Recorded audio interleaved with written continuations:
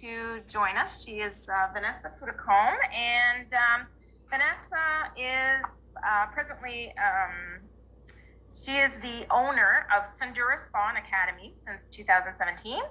Uh, she purchased the nail room and changed the business name to Sundara and moved operations to its current location. Uh, they offer hand and foot therapies. The service menu has grown with the addition of beauty wellness services as well as certification classes for those looking to pursue a career in aesthetics. That's coming soon, I guess. Mm-hmm. All services offered at Sundara are carried out using organic, gluten-free, and or vegan products with high performance standards and the ability to preserve the world we live in. So, Vanessa, I have just, uh, is she on? Hi, can you hear Hi, me? Vanessa. I am here. Welcome to our Women's Day event. And so I Thank will now you. give you the floor and uh, thank you for coming today to present. Thank you for having me. Actually, for stars, I just want to say your little flowers in the background are absolutely adorable.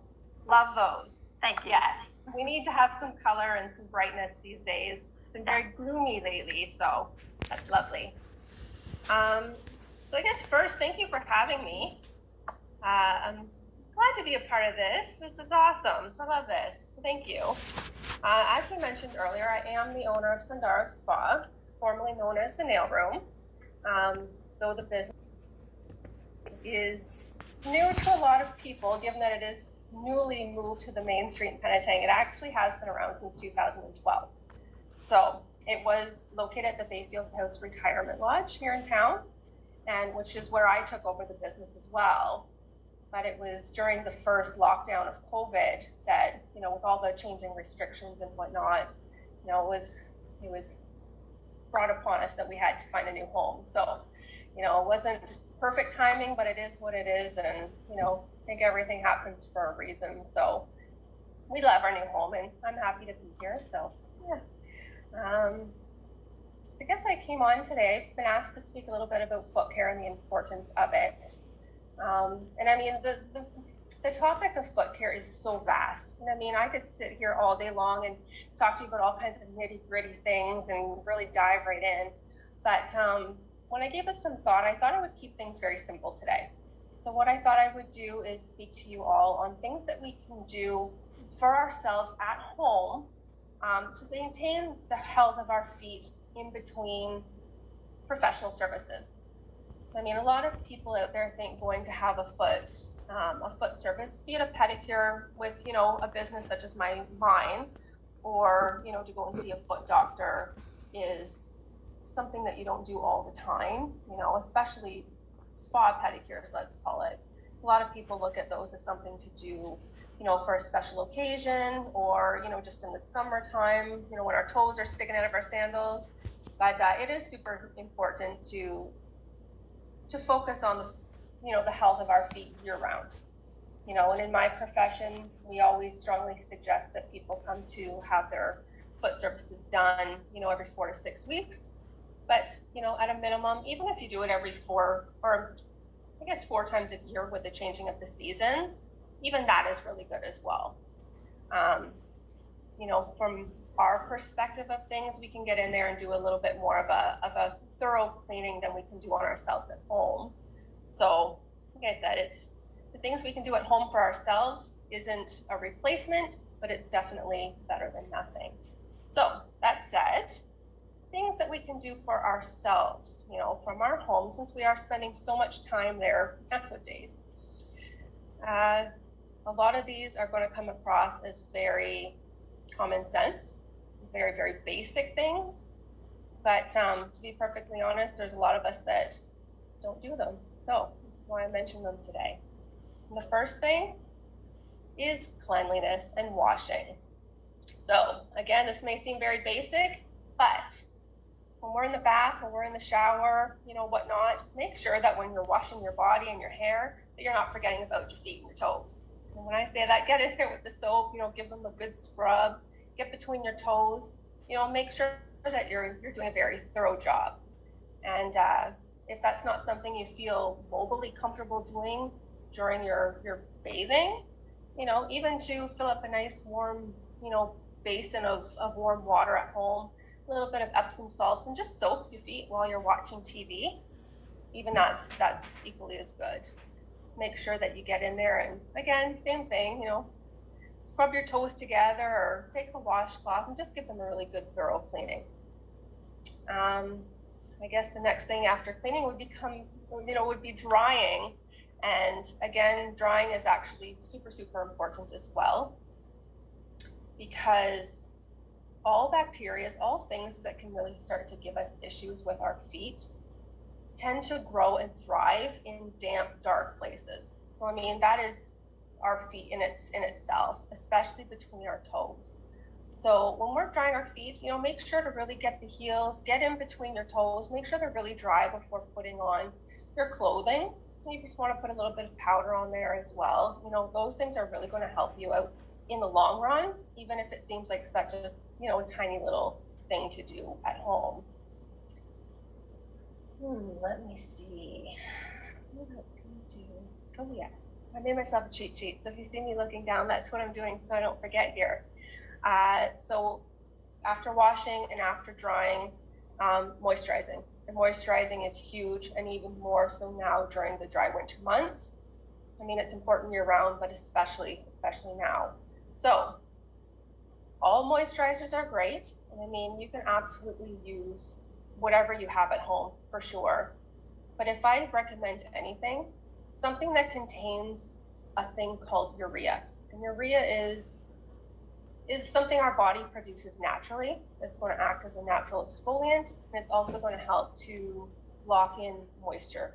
So we really want to keep the moisture that we have in our feet and not just put a lotion on that's going to sit on top of our skin and just sort of block whatever we have there, which is, I mean, it's fine and it's better than nothing, but we do really want to, you know, keep what we have. So moisturizing is super, super important. Um, let's see what else I've got here. Sounds kind of silly, maybe, because a lot of people out there I know hate this next one, but socks. There are so many people that do not like to wear socks at all, even in their shoes.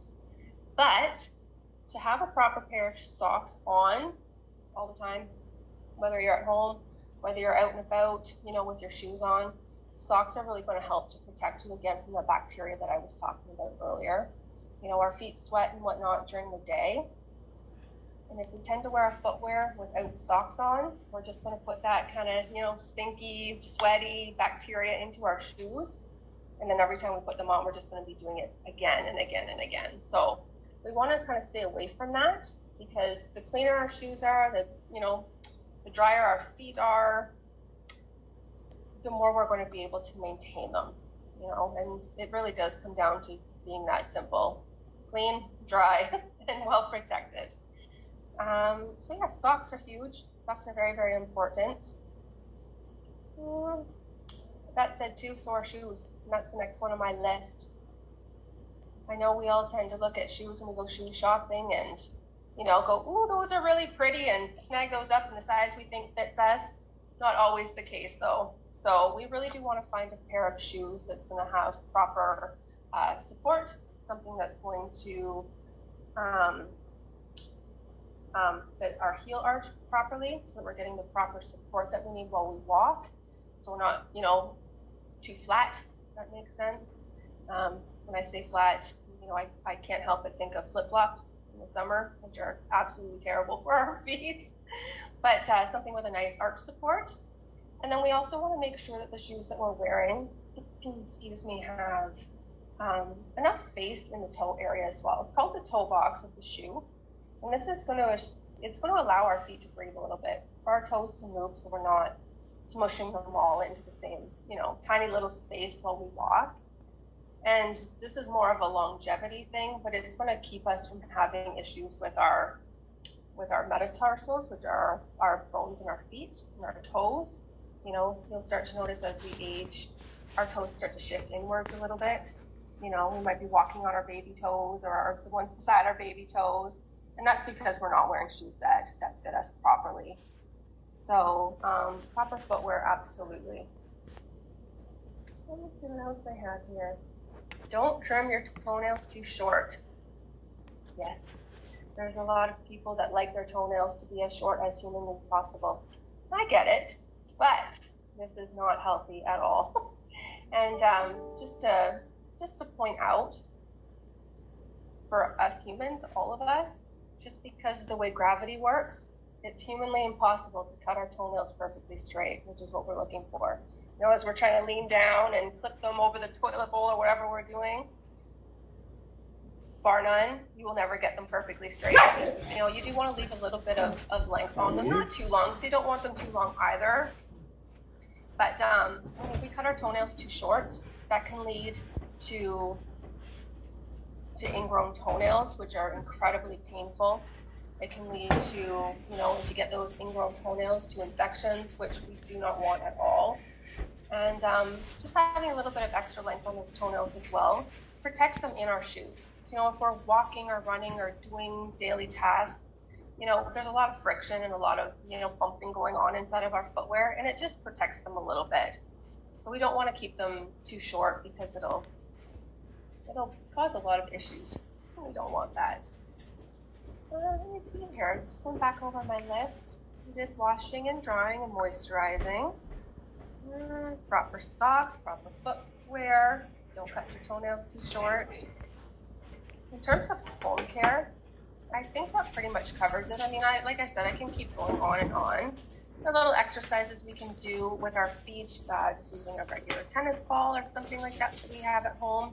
Um, that's going to help to stretch out those foot muscles and, and keep them working. But um, the, the, little tidbits that I did list are, are important ones. Those it uh, it is super important, very very important. And uh, yeah, I think that's I think that